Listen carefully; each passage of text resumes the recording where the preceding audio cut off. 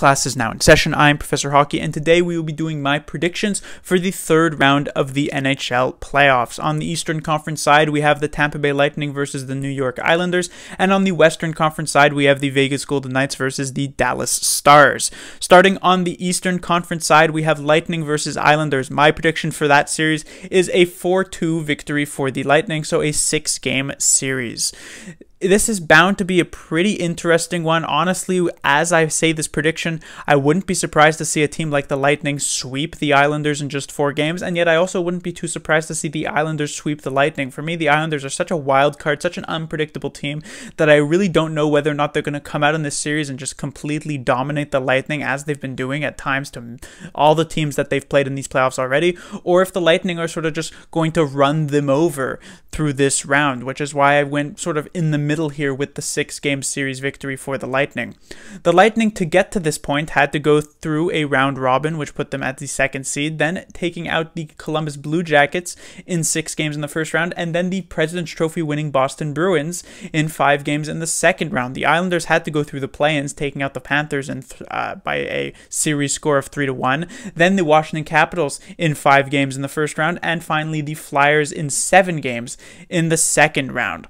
The reason I have the Lightning Lightning beating out the Islanders, however, instead of the other way around, is mostly because the Lightning have already dealt with a team that's quite similar to the Islanders, and that is, of course, the Columbus Blue Jackets in the first round. Both of these teams, the Blue Jackets and the Islanders, are very heavily defensive focused. They're a team that sort of comes together to play well as a unit more than the sum of their parts would be one way to put it. They have strong goaltending both sides. I say the Islanders are somewhat better offensively than the Blue Jackets were, which would mean that the Lightning will be given a bit more trouble in that area, but I still think that this experience of having taken them out in the first round is going to come heavily in the favor of the Lightning. I should also say that I feel as though the Boston Bruins are just a better team than the Islanders, especially when you look back at the playoffs last season where we saw the Islanders get swept by the Hurricanes who then got swept by the Bruins.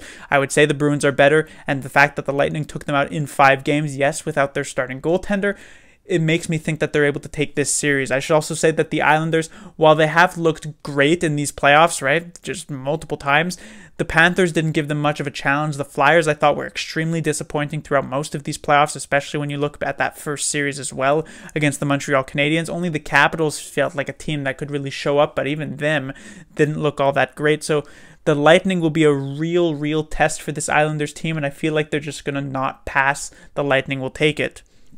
On the Western Conference side, Golden Knights versus Stars, I'm saying the Golden Knights would win it in five games. I think the Golden Knights are going to make it to that Stanley Cup finals. The path for the Golden Knights to get here was in the round robin. They managed to go perfect, getting them the first seed and earning them a date with the Chicago Blackhawks in the first round. Only took them five games to dispatch the Blackhawks. Then in the second round, they faced off against the Canucks.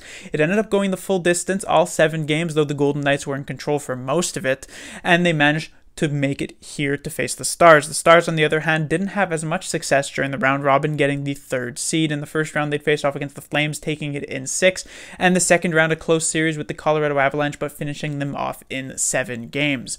The reason why I have the Golden Knights versus the Stars is that the Stars had a bit of trouble there in that second round with the Avalanche, and I thought the Avalanche were a very good team, so credit to the Stars being able to knock them off, but the Avalanche were also a very short-handed team, and so the fact that this this this series ended up going the distance works a bit against the Dallas Stars. It should also be mentioned the Stars offense was looking very good in, that series against the Avalanche, but the Avalanche were not only shorthanded defensively without Erik Johnson, who got injured early in this series, but were also shorthanded goaltending wise, using the third string goaltender Michael Michael Hutchinson for almost half of this series, and then their second string, their backup, Francouz, for the rest of it. So only really Grubauer, their starting goaltender, really only played for the first game, and even yet, Grubauer is not even good as the starting goaltender for the Golden Knights, which is Robin Lehner. So the Stars offense, which was looking great during this second round, might have a lot more trouble against the Golden Knights, not only because of the goaltending on the Golden Knights side, but also because of a much stronger defense. We saw them really shut down the Canucks. Three of the four games that they actually won last series were shutouts for the Golden Knights, and so this defense looking great, this goaltending looking great, and there isn't even that much of a drop off from the Avalanche offense to the Golden Knights offense, which is why I think that they'll take it in five games. My second series in a row predicting the Stars will lose but I think as long as the Golden Knights will stay can stay healthy, which they have already done remarkably so throughout these playoffs, they should be able to take it. Class dismissed.